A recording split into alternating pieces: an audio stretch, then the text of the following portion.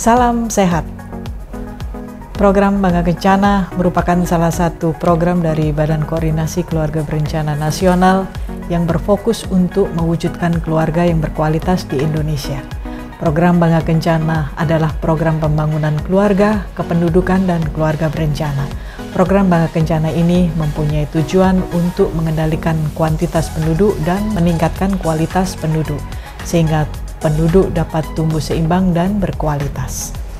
Dalam rangka mensukseskan program Bangga Kencana ini, Dinas Pengendalian Penduduk dan Keluarga Berencana Kota Kupang telah melakukan upaya-upaya. Di antaranya adalah pembinaan ketahanan keluarga berbasis kelompok Tribina. Kelompok Tribina tersebut adalah Bina Keluarga Balita atau yang lebih dikenal dengan BKB, Bina Keluarga Remaja atau BKR, dan Bina Keluarga Lansia atau BKL. Hal ini dilakukan untuk meningkatkan pengetahuan dan keterampilan keluarga dalam meningkatkan kesejahteraan. Upaya lainnya adalah memfasilitasi pembentukan kampung keluarga berkualitas yang lebih dikenal dengan Kampung KB. Di Kota Kupang, baru tujuh kampung keluarga berkualitas yang terbentuk dan tersebar di enam wilayah kecamatan yang ada di Kota Kupang. Tujuh kampung keluarga berkualitas tersebut adalah Kampung Keluarga Berkualitas Kelurahan Lasiana, Kampung Keluarga Berkualitas Kelurahan Naimata, Kampung Keluarga Berkualitas Kelurahan Uibufu, Kampung Keluarga Berkualitas Kelurahan Naikoten 1, Kampung Keluarga Berkualitas Kelurahan Pasir Panjang, Kampung Keluarga Berkualitas Kelurahan Ala, dan Kampung Keluarga Berkualitas Kelurahan Manutapen. Saya, Francisca Johana, Kepala Dinas Pengendalian Penduduk dan Keluarga Berencana Kota Kupang, mengajak seluruh masyarakat Kota Kupang untuk mensukseskan program Bangga Kencana ini program pembangunan keluarga, kependudukan, dan keluarga berencana dalam mewujudkan penduduk Kota Kupang tumbuh seimbang dan keluarga di Kota Kupang yang berkualitas. Salam bangga kencana. Berencana itu keren loh.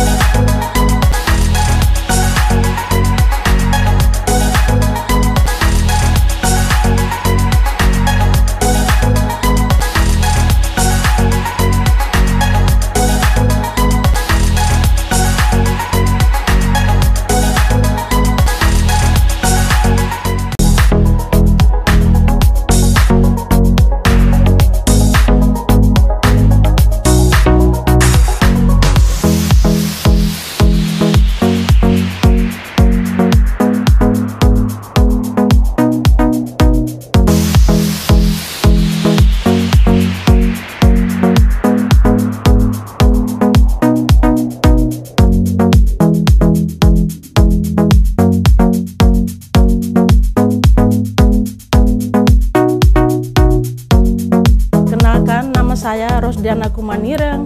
Saya dari PPKBD Sub eh, sekaligus kader KB. Kegiatan saya di wilayah Kelurahan Lasiana, tepatnya hari ini saya berada di Pustu Lasiana dengan membawakan abseter untuk datang e, mengikut KB implan hari ini.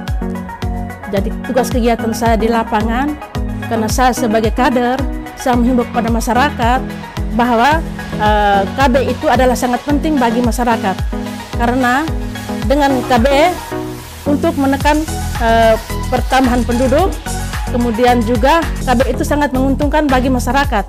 Satu kita cukup dua anak. Karena begini hidup ini sangat susah. Apalagi kita dengan ekonominya kita sangat rendah sangat susah ini. Oleh karena itu mari kita berKB KB itu sangat penting karena apa? Sekarang ini uh, uh, pendidikan sangat mahal. Satu, yang kedua kesehatan juga biaya kesehatan sangat mahal. Dua anak cukup. Nama saya Jederawan Fatin. Saya baru saja mengikuti KB Impan di Pustu Lasiana. Saya merasa ini penting buat saya dan keluarga. Terima kasih.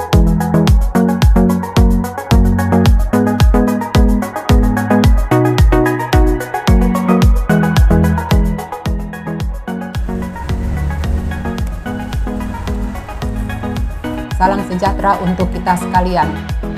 Salam sehat.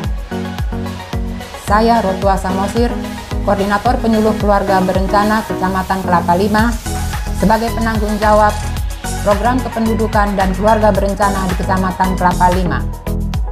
Melalui kesempatan yang berharga ini, saya akan menyampaikan bahwa Kecamatan Kelapa Lima membawahi lima kelurahan, yakni Kelurahan Oesapa, Lasiana, Kelapa Lima, Oesapa Barat, dan Kelurahan Oesapa Selatan dengan jumlah penduduk sebanyak 79.220 jiwa dan jumlah kepala keluarga sebanyak 17.723 KK. Dari jumlah kepala keluarga yang ada, terdapat 12.520 pasangan usia subur atau yang dikenal dengan PUS. Dapat kami informasikan bahwa dalam pengelolaan program KB, pasangan usia subur yang telah mendapatkan pelayanan kontrasepsi sebanyak 8.586 akseptor.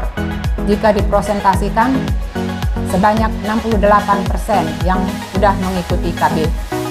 Dengan metode kontrasepsi yang bervariasi, antara lain IUD atau yang dikenal dengan spiral sebanyak 1.242 akseptor, implan atau susuk sebanyak 1.594 akseptor, suntik sebanyak 4.103 akseptor, pil 1.133, kondom 183 akseptor, MOE atau metode operasi wanita yang dikenal dengan steril wanita sebanyak 327 akseptor, dan MOP atau metode operasi pria yang dikenal dengan steril pria sebanyak 4 akseptor.